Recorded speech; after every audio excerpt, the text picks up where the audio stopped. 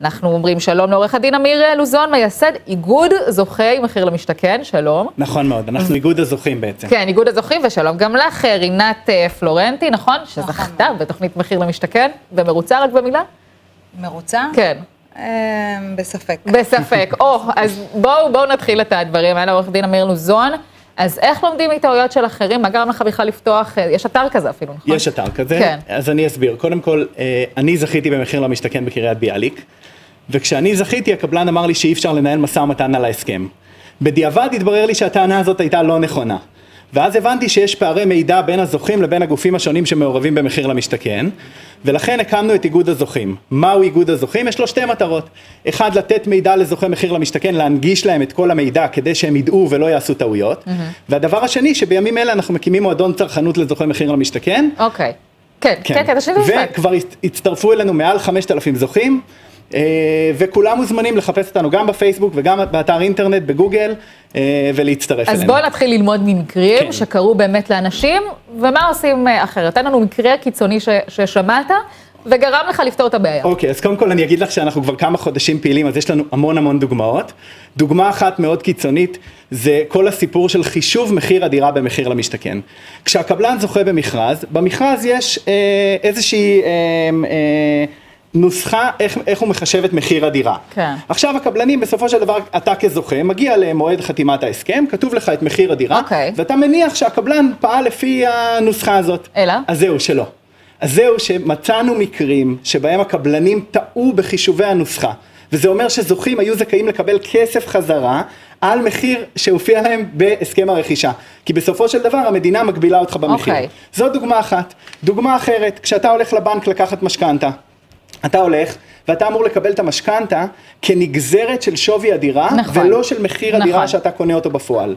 אנחנו, פנתה אלינו איזושהי זוכה, ואמרה שהיא הגיעה לבנק והעמידו לה משכנתה לפי המחיר שהיא שילמה בהסכם. מה זה אומר? זה אומר שהיא שילמה ריביות יותר ברור. גבוהות על המשכנתה, והיא יכלה לחסוך, אם היא רק הייתה יודעת, אה, עשרות ומאות אלפי שקלים. בואו ננסה לפתור את הבעיות של רינת, כי כנראה יש כאלה. איפה כן. זכית, רינת? אוקיי, אז אני זכיתי בבית בפארק באור יהודה. אה, היזם של התוכנית הזאת זה גינדי השקעות. אוקיי. אה, בעצם אנחנו כאל- כאלף זוכים אה, מתוך אה, סדרה של, אה, של הגרלות, יש הגרלה 400, 401, 402, ומה הבעיה? 403.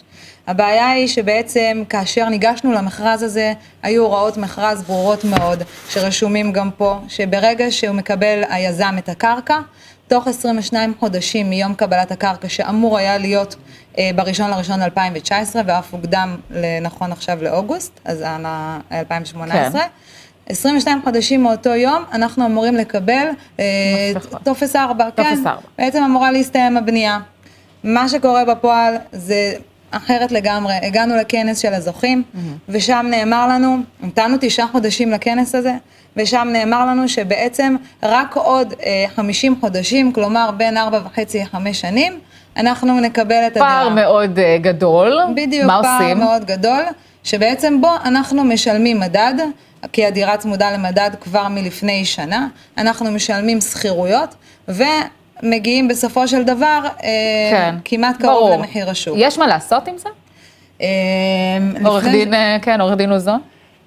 אני חושב, ואנחנו רואים את זה בהרבה מאוד קבוצות, שהתאגדות של זוכים ופעילות ביחד בכל פרויקט יכולה להביא להישגים. גם, הנה בבקשה בוא ניקח את המקרה של רינת כ- כדוגמה.